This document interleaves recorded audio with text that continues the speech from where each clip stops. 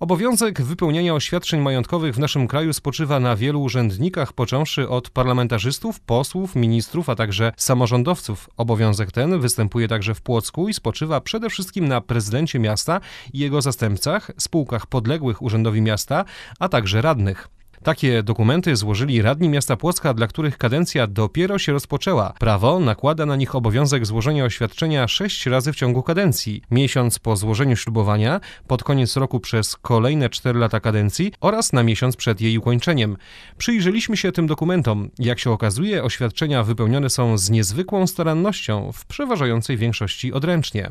I tak na przykład Leszek Brzeski z klubu Prawo i Sprawiedliwość zadeklarował, iż zgromadził majątek w wysokości około 100 tysięcy złotych.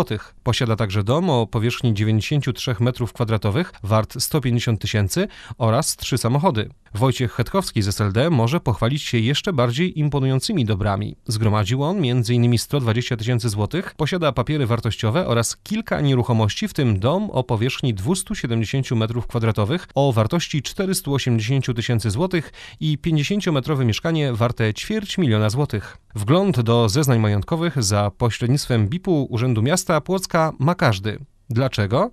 Jak tłumaczy Artur Jaroszewski, przewodniczący Rady Miasta, to pewien sposób kontroli rajców. Przede wszystkim jest to jakaś możliwość kontroli nieuzasadnionych dochodów.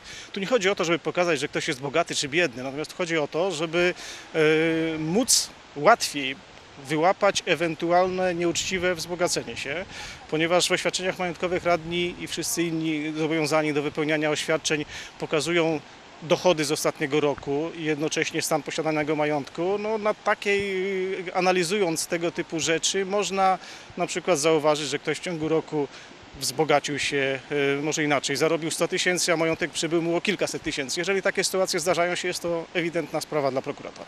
Radni muszą przedstawić na ręce przewodniczącego wszystkie dochody, a co jeśli rajca o tym zapomni? Konsekwencje, jak się okazuje, są ogromne. Gdyby radni nie złożyli oświadczeń majątkowych w ciągu 30 dni, e, tak naprawdę wygasa im mandat. E, natomiast ponieważ e, urzędnicy ratuszowi, oczywiście nie, nie tylko w Płocku, ale zapewne w innych samorządach, przypominają o tym radnym wielokrotnie, ja sam również zawsze przed upływem kadencji kilkukrotnie radnym o tym przypominam, więc nie zdarzyło się jak pamiętam, w ciągu ostatnich kilku kadencji, żeby ktokolwiek zapomniał złożyć oświadczenie. Jak zapewniał w rozmowie z nami przewodniczący Płockich Rajców, radni wypełniają swoje oświadczenia przeważnie bardzo sumiennie. Nie oznacza to jednak, iż w deklaracjach nie pojawiają się pewne nieścisłości. Profesjonalnym sprawdzeniem oświadczeń majątkowych zajmują się urzędy skarbowe.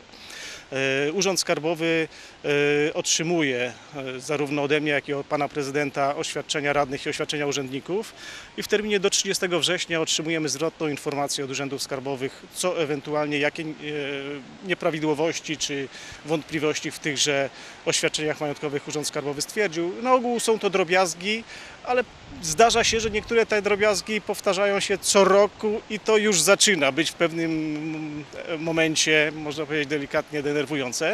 E, co jest istotne, radni mają prawo, tak jak każdy obywatel składający oświadczenie majątkowe ma prawo złożyć korektę tego zeznania.